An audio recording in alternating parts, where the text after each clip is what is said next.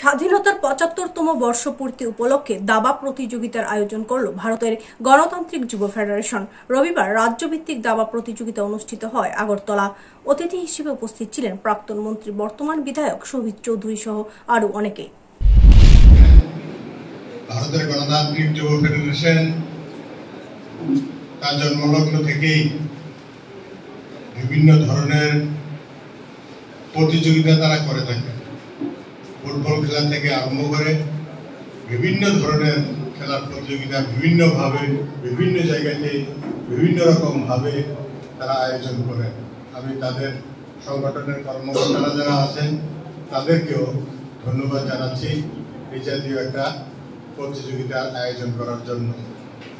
আপনারা জানেন ভারতের গণতান্ত্রিক যুব ফেডারেশন একটা নির্দিষ্ট লক্ষ্যে কাজকর্ম করে চলেছেন। বিশেষ করে যুব সম্প্রদায়কে ঐক্যবদ্ধ করা, যে লড়াই বর্তমানে আমাদের রাজ্যের মধ্যে, সেই লড়াইকে আরও বেগবান করার জন্য, শক্তিশালী করার জন্য সমাজ পরিবর্তনের একটা সংগ্রামকে আরও উচ্চতর পর্যায়ে নিয়ে যাওয়ার জন্য তারা এই প্রতিযোগিতামূলক আয়োজন এবং সংগঠনকে পরিচালনা করে। আমরা অনুরোধ করব ভারতের গণতান্ত্রিক যুব ফেডারেশনের যে সমস্ত কর্মী সমর্থকরা এখানে উপস্থিত আছেন।